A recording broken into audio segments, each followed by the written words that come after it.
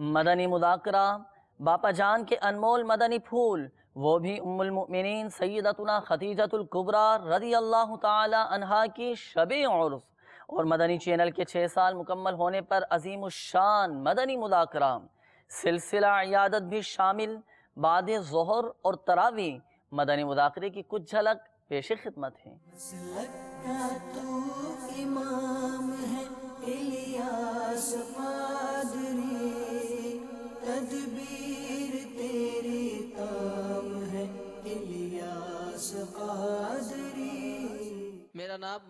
मोहसिन ख़ान रसवी है।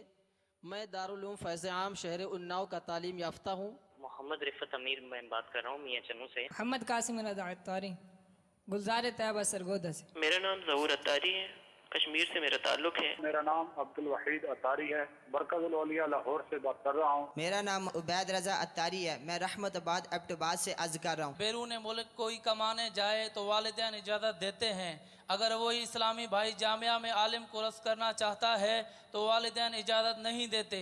अभी प्यारे बापा जान, इस इस्लामी भाई को क्या करना चाहिए? इसमें सूरतें हैं। जैसे कि अब अगर वो इस तरह इजाज़त देते हैं कि दूर मत जाओ, अपने मोहल्ले के मदरसे में पढ़ लो मकसूद वो इल्म दीन से बेजारी नहीं है। तब तो यह कि वालदेन की इस मामले में इतात करें। और अगर मकसूद ये है कि इल्म दीन से ये दूर करना चाहते हैं और शरीयत की पाबंदी से रोकना मकसूद है माँ बाप का, फिर तो यहाँ अगर वो इल्म दीन हासिल करेगा तो ये माँ बाप की नाफरमानी नहीं कहलाएगी। कुरान करीम की सबसे बड़ी सूरत को बताएगा? सूरतुल बकरा।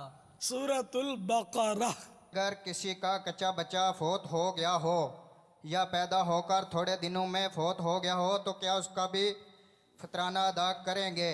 वो फितरा कब वाजिब होता है ये सब के लिए मालूमाती मदनी फूल है। ईद के दिन सुबह सादिक तुलू होते ही सदका फितर वाजिब होता है। लिहाजा जो शख्स सुबह होने से पहले मर गया या गनी था, फकीर हो गया या सुबह तुलू होने के बाद काफिर मुसलमान हुआ या बच्चा पैदा हुआ या फकीर था, गनी हो गया तो वाजिब न हुआ।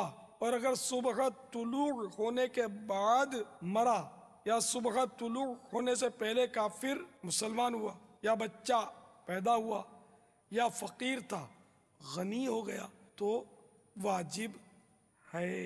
अच्छा सूर्य फातिहा में कितनी आयतें किसी को मालूम? सात आई जवाब दुरुस्त है। बजरिया ओबी वैन कोट सुल्तान जिला लैया पाक हुसैनी काबीना।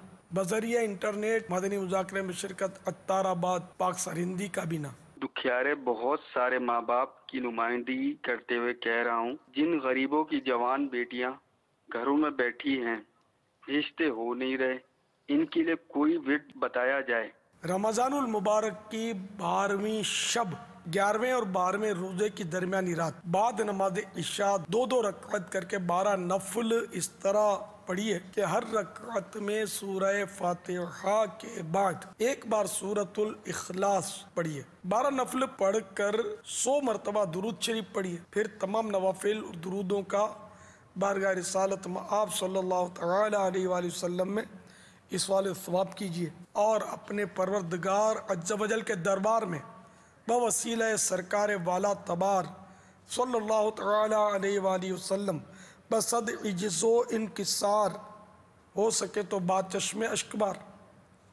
कम अज़ कम बारह मिनट अपने लिए या अपनी बहन बेटी के लिए अच्छे रिश्ते की दुआ कीजिए। इन ताला अगले रमज़ान शरीफ से पहले पहले मुराद पूरी होगी। ये तो शैतान से भी चार हाथ आगे हैं। इस तरह कहना कैसा है?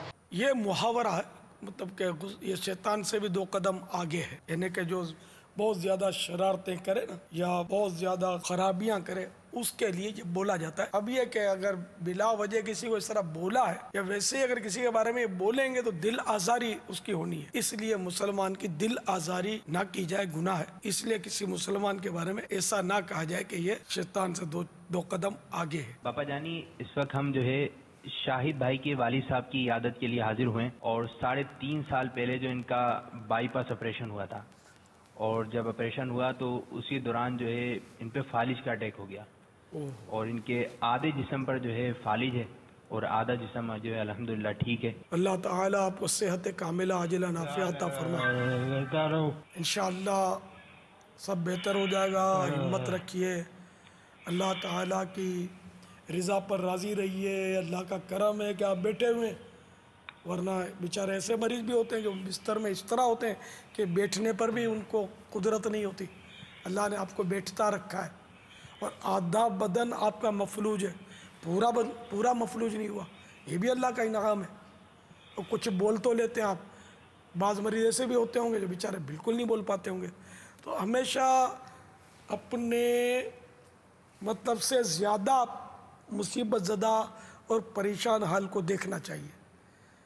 वरना अगर अपने से नीचे देखेंगे ना यार, ये तंदुरुस्त है चलते फिरते मैं भी मारूँ तो तो आपको बहुत परेशानी होगी। ये क्या कम करम है?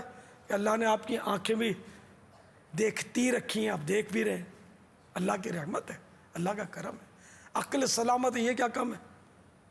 है अल्लाह की रहमत है। आपको अल्लाह ताला ने दाढ़ी मुबारक सजाने की इतनी बड़ी नेमत दी है कि इस गुनाह से आप बचे हुए हैं अल्लाह के फजल करम से।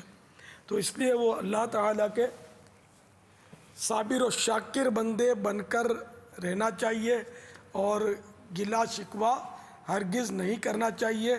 फैज़ान खदीजतुल कुबरा रदी अल्लाह तहा एटी फोर पेजिस हदिया सोलह रुपया। इसको हो सके तो ख़रीद फरमाएँ और इसका मुताला भी फरमाएँ। अपने घर में तोहफे में दें, अम्मी जान को दें, अपनी बहनों को दें। इन वो पढ़ेंगी और आप भी पढ़ें। और ये दूसरा रिसाला भी आ गया। सवाब बढ़ाने के नुस्खे।